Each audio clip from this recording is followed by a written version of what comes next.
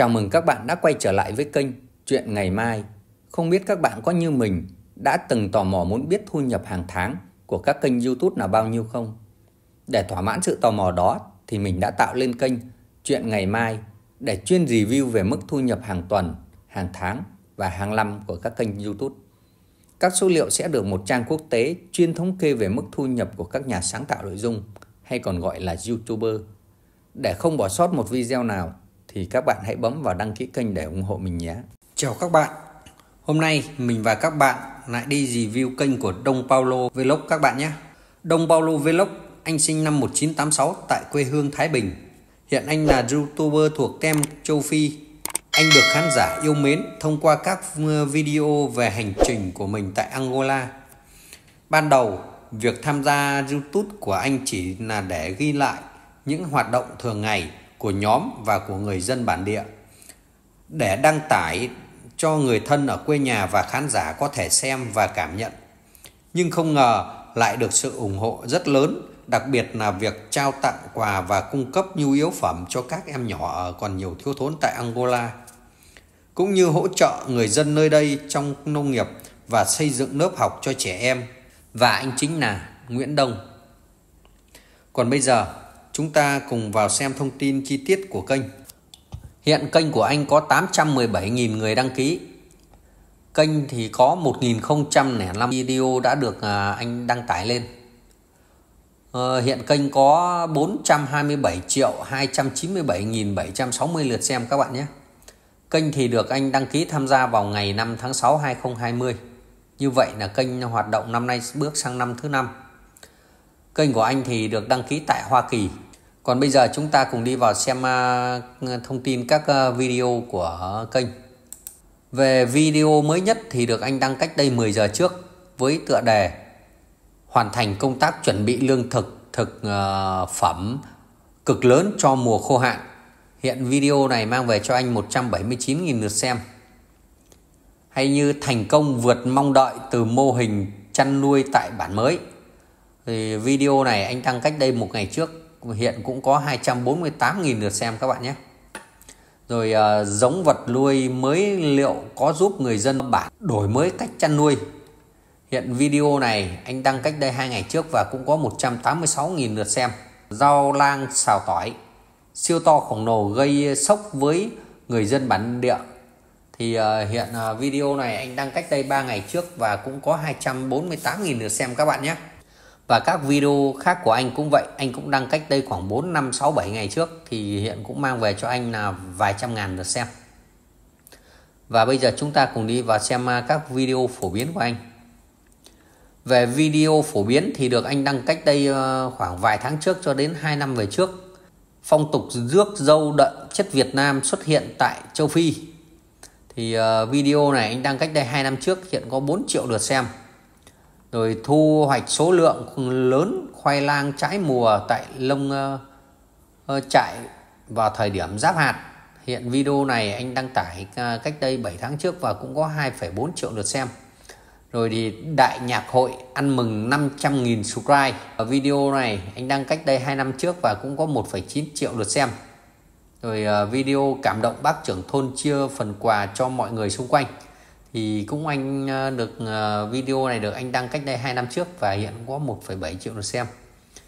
Và các video khác của anh cũng vậy. Anh đăng ờ, cũng vào khoảng 1 năm và 2 năm trước cũng ở con mốc là trên 1 triệu lượt xem các bạn nhé. Còn bây giờ chúng ta cùng đi vào xem các video phủ cũ nhất của anh. Về video cũ nhất thì được anh đăng cách đây vào thời gian khoảng 3 năm về trước.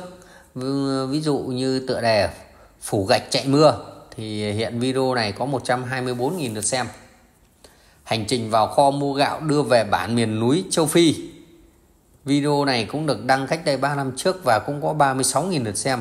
Rồi à, hậu trường phát gạo cho người nghèo miền núi châu Phi nhé mọi người. Hiện à, video này cũng mang về cho anh 131.000 lượt xem.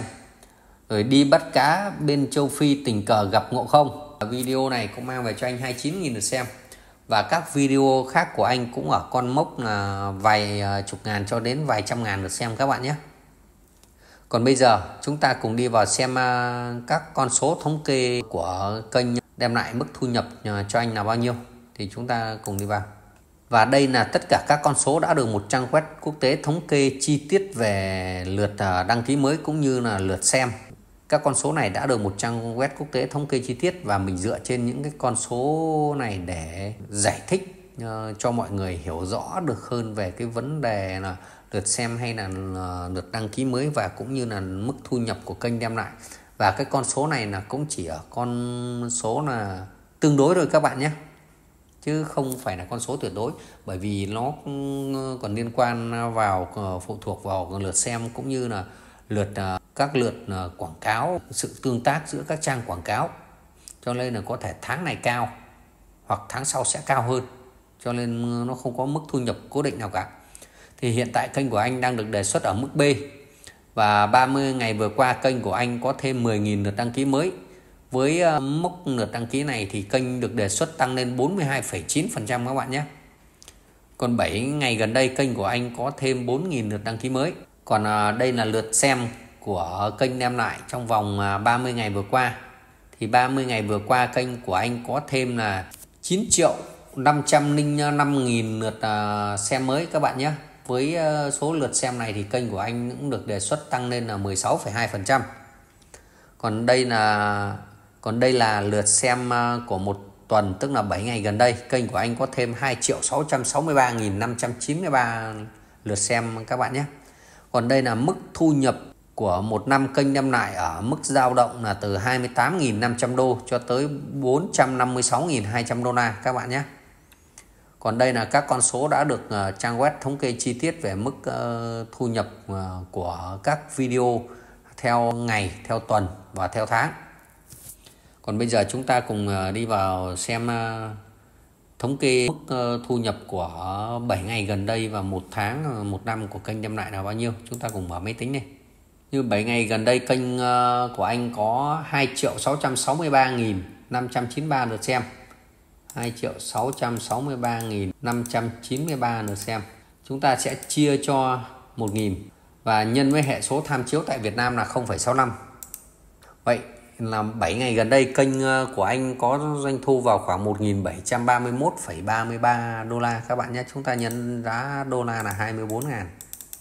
Như vậy 7 ngày gần đây kênh của anh à, có doanh thu vào khoảng 41 triệu 552 nghìn các bạn nhé. Bây giờ chúng ta đi à, nhân à, thử 30 ngày vừa qua với mức tăng trưởng là 16,2% thì xem được bao nhiêu tiền. Chúng ta sẽ lấy là 9 triệu 505 nghìn. Chúng ta chia cho 1 nghìn. Nhân với hệ số tham chiếu tại Việt Nam là 0,65. Như vậy 30 ngày vừa qua kênh của Đông Paulo thì hiện có 6.178,25 đô la. Chúng ta nhân giá đô la là 24 ngàn 30 ngày vừa qua kênh của Đông Paulo có 148 triệu 278 nghìn các bạn nhé. Bây giờ chúng ta thử đi tính ờ, trung bình một năm chúng ta sẽ lấy là 28.500 đô cộng với này 456.200 đô chia cho 2 nhân với 24.000 như vậy một năm Ờ, kênh của Đông Paulo ờ, có doanh thu vào khoảng 5 tỷ 816 triệu 400 nghìn các bạn nhé các bạn cũng nên biết là trang web này chỉ thống kê những con số về mức thu nhập của kênh đem lại và mức ờ, thu nhập này cũng chỉ được thống kê ở mức tương đối chứ không phải là tuyệt đối các bạn nhé. Mức thu nhập này chưa có trừ thuế các bạn ạ. Mức thu nhập của kênh sẽ không cố định mà sẽ cao hoặc thấp còn phụ thuộc vào lượt xem cũng như là lượt tương tác với các trang quảng cáo và số lượng các video quảng cáo và thời lượng của các video của kênh đem lại các bạn nhé. Như vậy là mình đã review xong kênh của Đông Paulo. Các bạn thấy hay thì cho mình xin một like, một chia sẻ và một đăng ký kênh để ủng hộ mình nhé. Các bạn muốn mình review kênh nào thì hãy để lại bình luận phía dưới. Còn bây giờ thì mình xin chào và hẹn gặp lại.